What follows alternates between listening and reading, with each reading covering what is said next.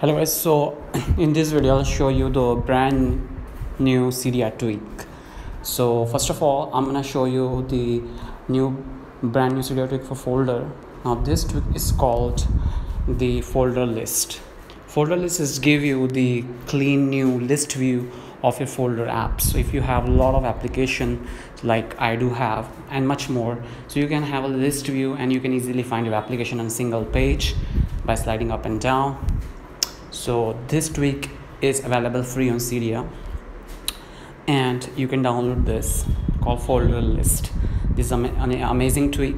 You can have an option to customize a to z z2a and disk usage. So you can have this option and it replaces the original view of your folder. Another tweak is called Modulus. Just install this tweak and uh, go to control center. There's control center. Here we have customize control and you can see the brand new modules like battery module you can up, put up and down over here. You can have screenshot. You can have um, a lot of options like activity device info stuff like that. So you can put it over here. And you can see the battery percentage module over here. So you don't have to go when you're whenever you're connected to bluetooth device airpods or anything you have to see you want to see the battery life. Just go over here on your control center from anywhere and you can see the battery performance or battery percentage.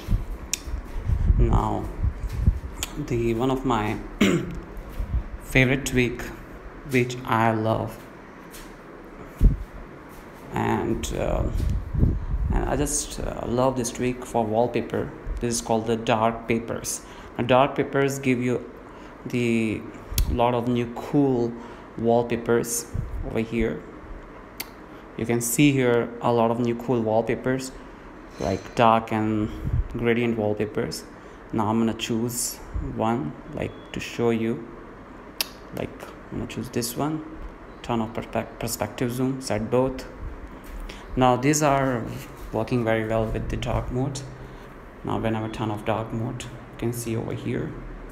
Now it's turning into the white or light wallpaper whenever I turn back on dark papers boom so these are the dynamic wallpapers wallpaper which is available on Cydia. This tweak is called the dark papers. Now these are the brand new three tweaks guys. Hope you like this video. Peace out.